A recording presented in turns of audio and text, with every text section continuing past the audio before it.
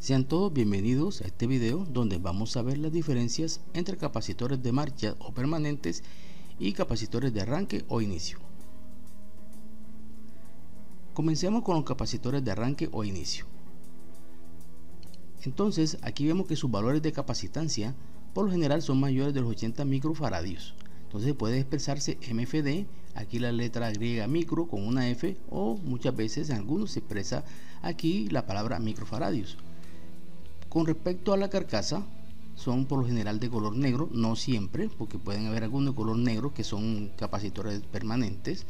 Se conectan y operan en serie con la bobina de arranque del compresor o ventilador y con una particularidad que deben desconectarse después que arranque el compresor o ventilador porque si quedan conectados permanentemente puede haber un daño en las bobinas de nuestro motor.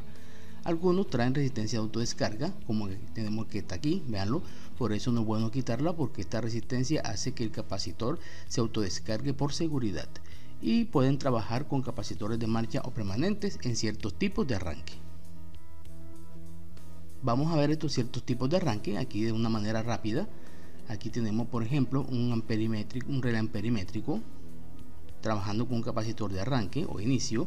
En este caso vemos que como estamos observando aquí cuando el compresor se energiza durante ese tiempo o esos primeros instantes de tiempo va a pasar corriente por el capacitor que va a dar un gran par de arranque pero después la misma estructura del relé hace que la corriente que pase por el capacitor se quite quitándolo del sistema como debe ser para evitar que me, que me pueda afectar la bobina del compresor como estamos viendo acá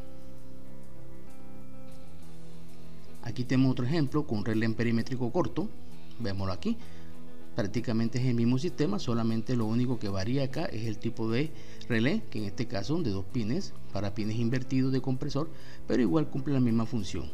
Vean que durante el encendido pasa la corriente, tengo un campo magnético de estator rotativo, pero después de cierto tiempo, simplemente el relé corta la corriente que pasa por el capacitor y me queda un campo magnético alternativo acá en el estator.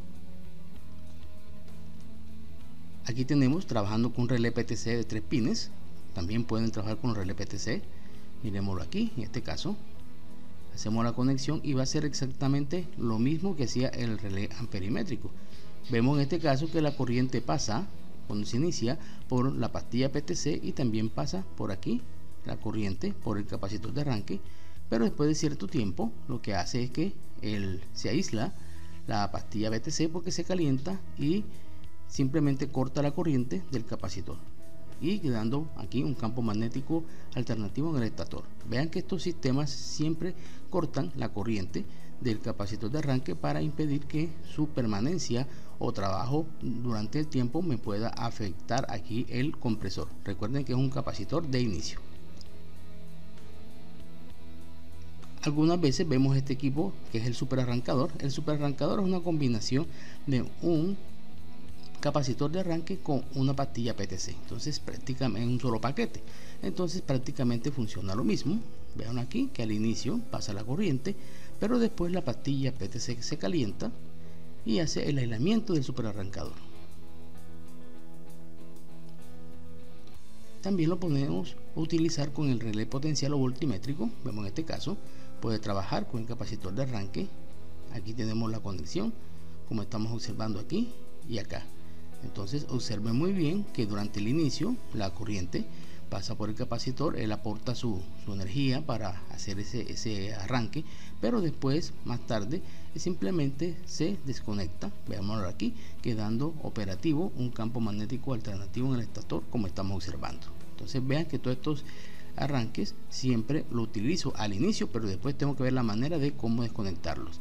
En algunos motores eléctricos tengo un interruptor centrífugo que a medida que el rotor gira simplemente lo desconecta. Con respecto a los capacitores de marcha permanentes como el que tenemos acá, miremoslo aquí, sus valores de capacitancia son por lo general menores de los 80 microfaradios. también con respecto al color, la mayoría son de color gris, lo podemos encontrar también color blanco, pero vean en este caso que tenemos uno de color negro, que es lo que me lo hace especial que sea de marcha, la capacitancia. Que aquí tenemos 5 microfaradios, 1 microfaradios, 20 microfaradios. Entonces, eh, son capacitores que tienen 80 microfaradios hacia abajo. Algunos pueden tener tres puertos de conexión como el que tenemos aquí. Tenemos aquí el común, fan y herme. Esto que tenemos acá son dos capacitores en uno solo. En este caso tengo uno de 20 microfaradios para arrancar el compresor y tengo uno de 5 microfaradios para arrancar el ventilador, por general el ventilador de condensador. Bien, entonces tengo dos en uno solo. Esos eh, son bastante prácticos en el sentido que me ocupan poco espacio. También se conectan y operan en serie con la bobina de arranque del compresor o ventilador y pueden trabajar muchas veces en ciertos sistemas de arranque con el capacitor de arranque mientras, eh, mientras se arranca. Después, ustedes, como acabamos de ver, recuerden que el capacitor de arranque tiene que desconectarse y queda operativo solo el capacitor aquí de, de marcha o permanente. Vamos a ver unos ejemplos. Aquí tenemos un relé PTC con un capacitor de, de marcha, por eso se llama relé integrado, un paquete donde se conectan aquí, veanlo, y en este caso arrancamos el compresor, veanlo acá, y después del arranque este capacitor siempre queda operativo, por esa razón tengo un campo magnético rotativo cuando inicia y después de cierto tiempo permanece el campo magnético eh, rotativo, ¿por qué? Porque él sigue operando se puede abrir la, pastilla PTC, pero él sigue operando. Muy bien. Este es otro caso donde tengo un relé PTC 3 pines con un capacitor permanente. Veámoslo aquí. Veamos su conexión. Igual puedo hacerlo también con un relé PTC de 4 pines en la misma conexión. Veanlo. Donde en el momento del arranque, mírenlo aquí, pasa corriente tanto por el capacitor como por la pastilla pero después que la pastilla PTC se calienta simplemente esta corriente mm, finaliza y queda operando mi capacitor permanente en estos tipos de arranque eh, con capacitor permanente el campo magnético en el estator es rotativo como están observando acá bien aquí tenemos el arranque PSC donde muy popular en los sistemas de aire acondicionados donde tenemos nuestro capacitor y hacemos la conexión como estamos viendo acá mírenlo y mírenlo entonces, en este tipo de arranque, simplemente el capacitor va desde el arranque y en el trabajo del compresor. La corriente siempre va a pasar por él. Por eso que se llaman permanentes. Aquí vemos la conexión del capacitor de, tres pines que vimos ahorita. Vemos que son dos capacitores en uno solo. Entonces su ventaja radica en que ocupa, ocupa poco espacio. Entonces lo, veámoslo acá miremoslo aquí la conexión que se va a veanlo aquí del fan común vamos aquí al herme el herme ese va al estar del compresor mientras que el fan se va al estar del ventilador entonces vamos aquí a, encender nuestro equipo con un solo capacitor ahora tenemos arranques combinados en este caso mm, vamos a llamarlos combinados donde utilizo ambos capacitores. Entonces aquí yo combino la potencia de arranque de los dos capacitores en el inicio como están en paralelo se suman las capacitancias y me da un gran par de arranques como estamos viendo acá. Pero después que arranca este este relé potencial simplemente desconecta la corriente que pasa por el capacitor de arranque y me queda operando solamente el capacitor permanente o de marcha también le llaman run capacity como estamos observando aquí el campo magnético queda rotativo como estamos observando Bien, en este caso tenemos al capacitor permanente con el super arrancador trabajando en paralelo. Veanlo acá. Entonces ya sabemos que en el arranque me trabajan los dos capacitores, pero después la corriente que pasa por el super arrancador cesa debido al calentamiento de la pastilla PTC, quedando operando solamente el capacitor permanente tal cual como estamos observando. Todos estos arranques los tenemos en el canal y lo pueden ver cada uno explicado detalladamente. Ahora vamos a ver a reconocer los datos técnicos de la placa de un capacitor. Bien, entre los datos técnicos aquí podemos ver, vemos aquí el valor de capacitancia que está en este caso 60 microfaradios. Tenemos aquí la tensión de operación que va de 370 a 440 voltios. Aquí tenemos la frecuencia que va de 50, puedo trabajarlo con 50 o 60 Hz y aquí tenemos la tolerancia que está en porcentaje, que significa este es el porcentaje de error que tiene la, o digamos de, yo le diría la tolerancia, o sea, los valores o el rango en el cual puede estar este valor de capacitancia. Si es de un 5%, pues lo que se saca aquí, cuánto es el 5% de 60, lo cual me da 3 microfaradios. Por tanto, como dice aquí más o menos, significa que el rango de capacitancia puede estar entre 60 menos 357 o 60 más 363. ¿Qué significa? Ese es el rango de referencia para yo poder analizar este capacitor.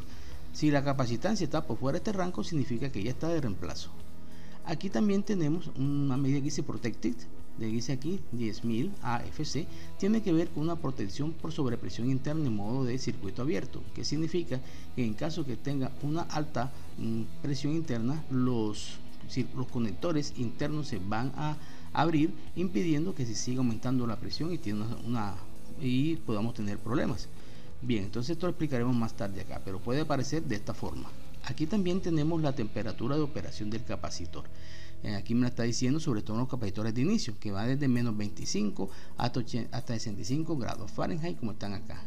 Aquí también tenemos algo especial que los capacitores de arranque eh, le especifican el rango de microfaradio o la capacitancia en vez de dar una tolerancia. Entonces también me puede dar de esta forma. Y aquí también me especifica la tensión de operación como estamos viendo acá. Vamos a analizar otros datos importantes. Entonces vamos a ver aquí tenemos en este caso la temperatura de operación. En este caso me lo, me lo expresan con tres valores. ¿Qué significa? El primero aquí está 40, uno le coloca el negativo, significa que él va a trabajar desde menos 40 grados Celsius, la mínima, hasta 85 grados Celsius y aquí me está este 21 significa los días de exposición me están diciendo cuántos días me puede demorar este capacitor si estoy trabajando fuera de estos rangos como para decirme que en, en ese tiempo pasado simplemente voy a, tener problemas con mi capacitor aquí también podemos montar un tipo una letra esta puede ser A, B, C o D eso significa la clase de operación y expectativa de vida del capacitor para este caso B, estamos hablando de unas 10.000 horas. Vemos que la parte interior, la, la, firmina anterior vimos 10.000 AFC. Ahí me la especifica, pero si una letra A significa 30.000 horas, C 3.000 horas y D 1.000 horas. ¿Correcto? Y con respecto aquí, otra letra con número P1 me dice la seguridad de protección del capacitor. En este caso P0 significa que no tiene modo falla o no tiene dispositivo de protección interna, o sea que es un capacitor sin protecciones. Si tengo P1 o P2 Ambos tienen seguridad por sobreprotección interna, ¿cierto? Pero en caso del P2, en este caso va, va a fallar por circuito abierto, o sea que en caso de algún problema sobre presión, él va a abrir los contactos aquí y también está protegido contra fuego y choques eléctricos. Si en el caso del P1, al igual estoy protegido contra fuegos y choques eh, eléctricos, como el P2, pero aquí puedo fallar por circuito abierto o por cortocircuito. Entonces todo depende de la capacidad. Pero esos son lo que, que indican todos estos valores que nos encontramos aquí en el capacitor.